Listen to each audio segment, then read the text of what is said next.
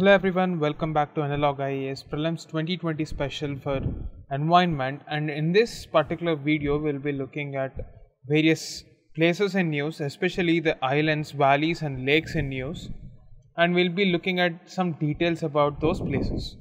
The first place we would be looking at is the Great Nicobar Island. If you take a close look at its location, the Great Nicobar Island is almost the southernmost point in Indian territory. Now it is almost close to the Malacca Straits, Singapore, and other Southeast Asian countries like Malaysia. So we are looking at some important places in the news, and in this particular region, what is of significance for environment is the Great Nicobar Biosphere Reserve. This is where you would find the tribe Shompens. They are one of the most uncontacted tribes in the world and they have survived even tsunami because of their ability to understand geography.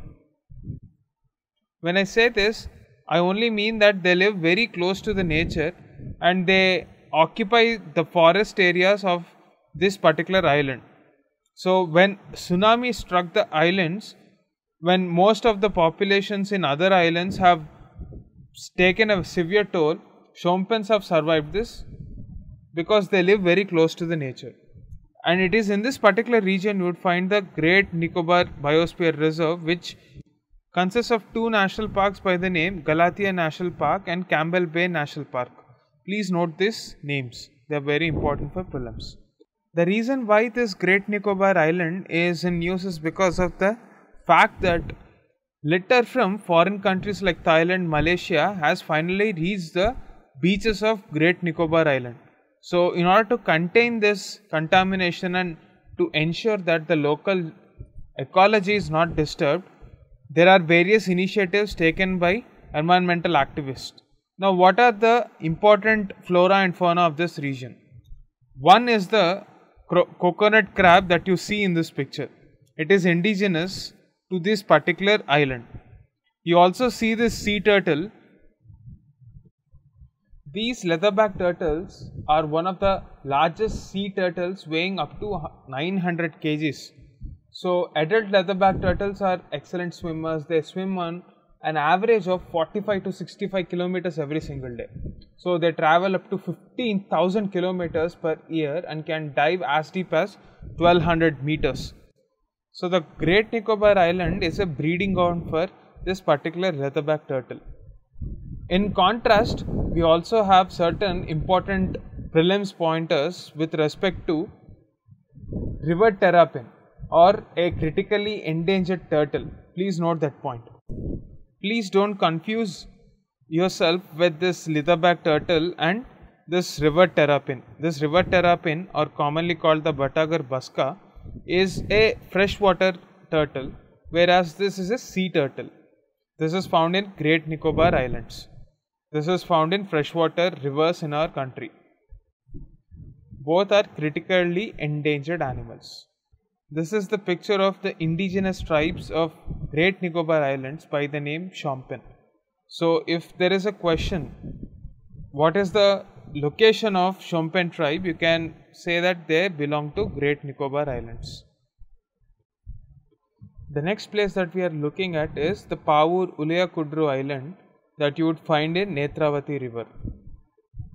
The speciality of this region is the fact that there is a temporary wooden bridge that is constructed to connect the island to the river bank. So, this was the major news that brought this island into the news. So, in this context, let us try to understand some geographical basics about Netravati River. Netravati River is a west flowing river, not an east flowing river. It joins Arabian Sea. So, the origin is in the Western Ghats in Kudremukh in Chikmagalur district of Karnataka. It is also called Bantwal River and it is the major source for the city of Mangalore. So, Dharmasthala, a religious pilgrimage, is found on the banks of Netravati in Karnataka. These are some of the basic details that you can find about Netravati, which is important from prelims perspective. So, this is the particular news item that I was referring to. this is the location of the island. So this is the river Netravati that we are referring to. So these are the takeaways from this news item. The next place we will be looking at is the Trak Island. The location of this island is in Andaman and Nicobar Islands. We have seen that the Great Nicobar Island is one of the southernmost points of India. So this particular island where the Indian Air Force has been testing BrahMos missiles is north of Great Nicobar Island. So this is the important point that you have to know. The fact that Indian Air Force is testing BrahMos missiles and it is in Andaman Nicobar Islands. These are the two important points we have to know from prelims perspective with respect to this Trak Island. Willingdon Island. Willingdon Island is in Kochi. Actually, this place is a part of the city Kochi itself and it is the home for the port of Kochi and also the Kochi Naval Base, which is also called the Southern Command of the Indian Navy. So, this is named after the Viceroy who commissioned this project during that particular point of time, the Viceroy of India, Wellington. So, the point that you have to notice what is the time period? Please do your research here. What is the time period in which this particular person, Wellington, was the Viceroy of our country? The next important point that we have to note here is Araku Valley in Andhra Pradesh in Vizag is very famous for its coffee plantations. So, what is the kind of coffee plantation that you would be finding in Araku Valley? What are the tribes? They are of very much importance. There are two varieties of coffee, Robusta and Arabica. Recently, there is a GI tag issued to this particular coffee variety. Now, I want you to comment in the comment section what are the coffee varieties which got GI tag recently and what is the type of coffee that is more famous across the country. So, in southern states, there is another component added to our coffee called the chicory. What is this chicory? I want you to comment all these points in the comment section. The next important place that we often see in news is the Barak Valley, named after the river Barak. So, if you can see, this is present in southernmost Assam, and there are three districts within this region. So, this Silchar, which is one of the most important cities of Assam, is in this Barak Valley.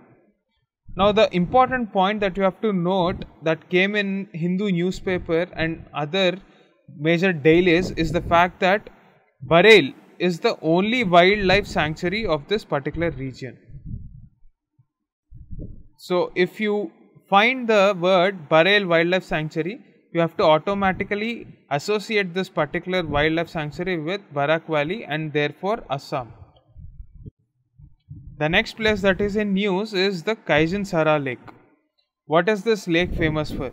Recently it was discovered in Nepal and therefore as you can see in this Nepal is the home for one of the largest or the tallest mountains in the world. In fact, it hosts Mount Everest, the tallest peak in the world. So, it is very natural and unsurprising to find a lake in that particular region to be the world's highest point. So, if someone asks you the question, what is the highest lake in the world? The answer is Kajin Sara.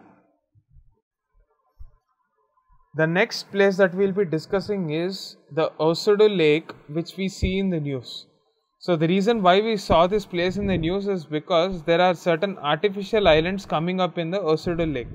Now, what is this Osudu Lake?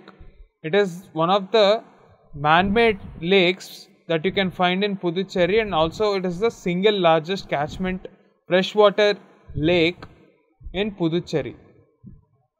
So, these are the major facts that you have to know have a look at the location of Puducherry. So this video is one of the many videos that will be coming up with respect to environment and places in news. So please keep following the channel regularly. That's it for the day. Thank you.